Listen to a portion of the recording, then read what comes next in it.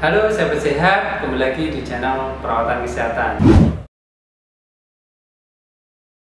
Nah, di sini kita akan membahas tentang tunggakan iuran. Nah, seperti pertanyaan kalian ya, banyak sekali sudah telat 6 tahun gimana? Sudah telat 2 tahun gimana? Sudah telat satu tahun gimana?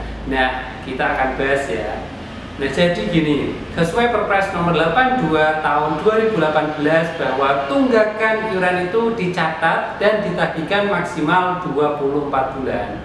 Artinya, kalau panjenengan terlambat iuran sampai 6 tahun atau 3 tahun atau 4 tahun, nah itu hanya dicatat dan ditagihkan maksimal 24 bulan. Nah, kalau yang baru telat satu tahun, nah berarti dicatat sesuai berapa bulannya? Misal 12 bulan atau 13 bulan ya.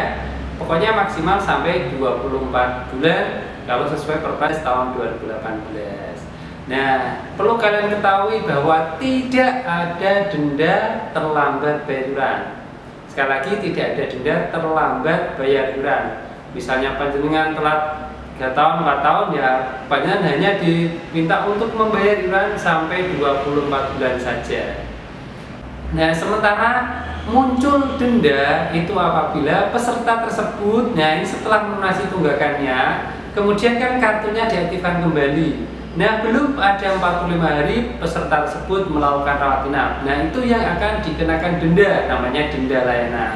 Nah, untuk besaran dendanya itu tergantung telat bayar misalnya udah telat 4 bulan atau 5 bulan nah itu nanti dihitung 5% dari biaya perkiraan Rapinap dikalikan bulan tertunggak misalnya habisnya perkiraannya di Rapinap itu 1 juta nah 5 persennya berapa?